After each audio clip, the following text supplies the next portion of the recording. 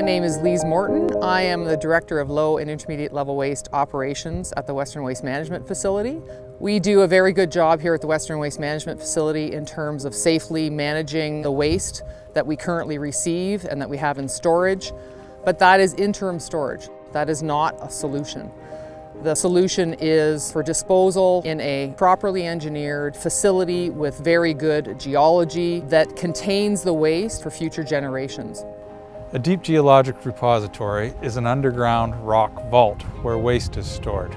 Within a geologic formation that has been shown to be stable and predictable over geologic periods of time. There have been other options considered for the disposal of radioactive waste such as shooting the waste to space, melting it into Antarctic ice or seabed disposal. But internationally, several national programs came up with the conclusion that deep geological disposal is the method of choice. Right now we're located at the proposed location for the DGR project.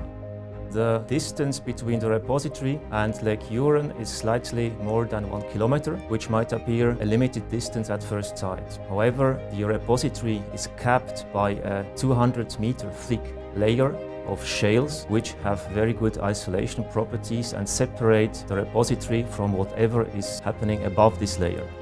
What this means is, is that particle movement through the rock surrounding the DGR would be very slow and that the rock is strong and well suited for making the DGR openings.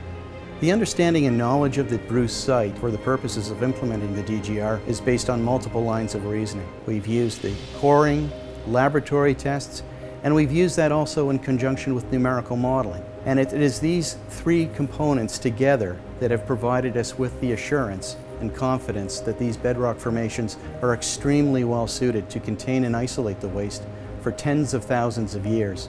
The planned repository depth at the Bruce site is 680 meters, which is more than in most European programs. Let us take Sweden and Finland as examples. Repositories for low-level waste exist in those countries at substantially shallower levels. Also, they are located in granitic rocks, which are less efficient to limit the transport of radionuclides from the repository to the surface. The consensus amongst these geoscientists is that this site is exceptional. It compares very well to current and modern sites being looked at internationally. The site, through this multiple lines of reasoning approach, is a very good place to ensure it causes no harm long into the future.